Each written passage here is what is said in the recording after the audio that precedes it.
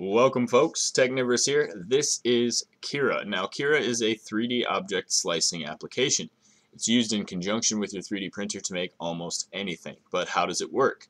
Stick around and find out. We'll go over each setting one by one, each in 5 minutes or less, and be sure to bookmark this playlist and hit that subscribe button.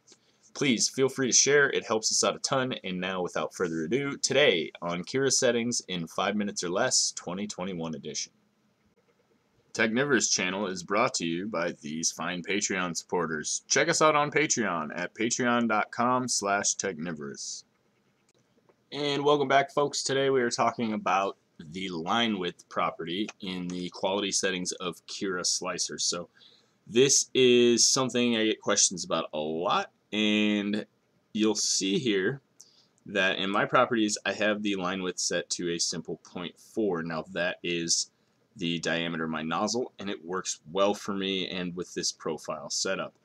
A lot of times in a lot of places you'll see that people recommend using up to 150% of that line width. So uh, 0.6 because of a property called die swell. So when you're extruding from a hot metallic nozzle, the plastic is immediately going to swell to a size larger than the extrusion hole as soon as it leaves the extruder. So basically, you're not going to be able to put down a 0.4 millimeter line from a 0.4 millimeter nozzle. That said, I leave this property alone, it works just fine. However, when it comes to the initial layer line width, which is the next property we're also going to cover in this same video, basically, you can go down here and set this to 150% and then slice again and you will get a wider initial line that is your first layer and that will give you slightly better adhesion without giving you over extrusion throughout the rest of your models. So feel free to play around with this number. It does not work very well at all if you put it below the diameter of your nozzle, but anywhere between the actual diameter and 150% of that diameter should give you nice prints.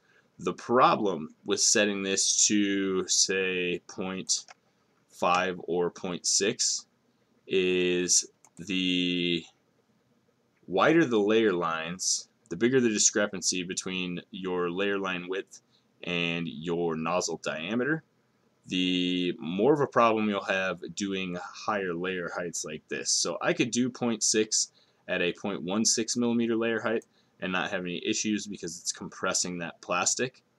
But if I were to do that at 0.2 or higher like this, I might develop some issues of over extruding. So you want to keep an eye on that as well. And basically just, just keep this the same as your nozzle diameter for now and play around with the differences in this first layer because the only real advantage of increasing that is adhesion and it does, if you're putting it down accurately, calculate that into the dimensions of the model. You can adjust your dimensional accuracy using this slightly, but as I said, usually if you go to a larger size than the nozzle diameter, it will lead to over extrusion uh, at some point with the higher layer heights. So